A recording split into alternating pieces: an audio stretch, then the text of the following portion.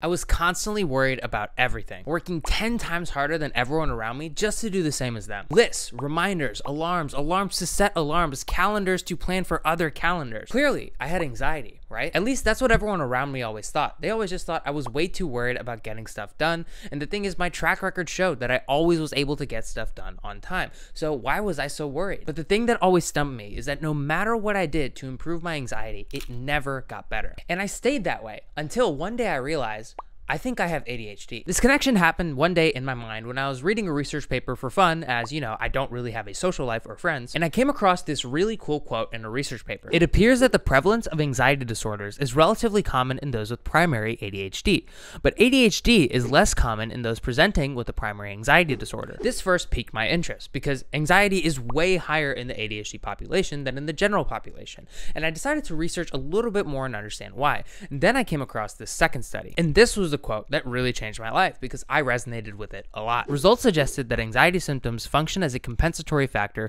for inhibition abilities longitudinally for children with higher ADHD symptoms. This is one of the first studies to provide evidence for compensatory effects of anxiety symptoms on EF functioning for children with higher ADHD symptoms. Nuanced considerations of this compensatory effect are discussed, given how this effect may promote compensation in EF abilities, but could confer negative effects for broader aspects of functioning. So, for those of you who have a life and don't constantly read psychology, psychology papers. What this basically means is that anxiety was able to kind of compensate for executive functioning difficulties in people with ADHD. What does it mean to struggle with executive functioning? Well, I asked ChatGPT, and here are some things that it lists as executive functioning difficulties. A difficulty with starting or completing tasks, difficulty planning or making decisions, difficulty prioritizing tasks, difficulty remembering things, difficulty switching focus from one task to another, difficulty managing time, difficulty motivating yourself to do something that doesn't interest you. In other words, this is basically just having ADHD. ADHD. And while this study is very limited to say the least, one of the interesting things that we can see is that anxiety is able to regulate everything pretty much that people with ADHD suffer with,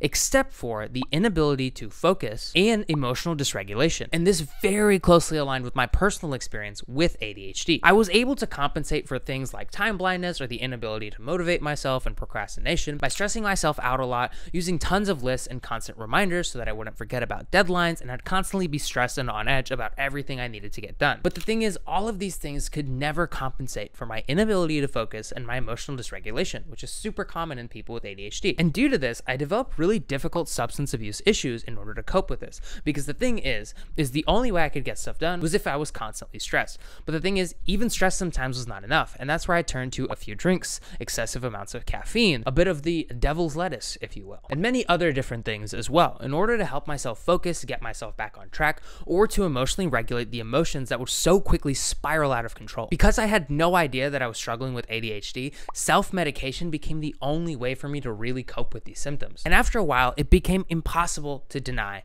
that it wasn't just anxiety. I had to have something else because everyone else around me who had anxiety, the stuff that's supposed to fix your anxiety, fixed their anxiety. And my anxiety still sucked ass. So, why was this? It first started to hit me when I realized all of my friends had ADHD. Pretty much every single person I got along with really well was neurodivergent, and they were the ones who first started pointing out all of the weird ADHD things I did. I always watched YouTube videos on two times speed. I had little to no patience for anything. I was constantly stressed about exams, and no matter how hard I tried, I would always only really be able to study in the last two days before it happened. Even though I technically would work on projects until the day they were due and give myself ample time to get them done, I got almost no progress done until the last few days. And when I did try to make progress before that point, I would literally fall asleep from how bored I would get and I just wouldn't be able to do anything. And thank God for my friends because they all kept urging me to get tested for ADHD to see if I actually had it because they saw me going through the same exact struggles that they did when they were kids. And then I finally did. I finally went, I got tested, and it turns out, yep, I did have ADHD this whole time.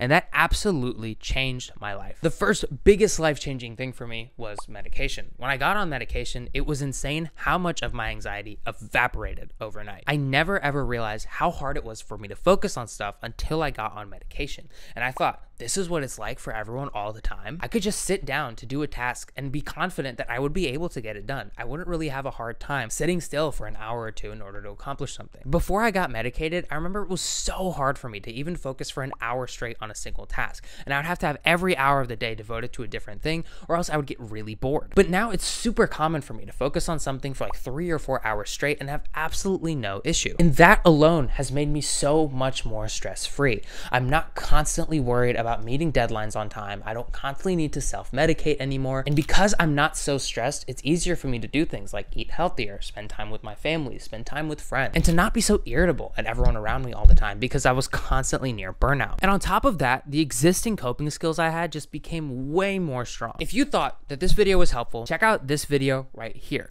I have a ton of tips that I talk about that can especially help you if you are unmedicated because this is how I manage my ADHD pre-medication. There's another video down here if you specifically want to learn how to focus better. So thank you so much for watching. And if you're still here, comment down below your experience with this as well. Tell me about what's happened in your life and how this has affected you. Thank you so much for watching. Have a great day. Good luck on your journey and take care.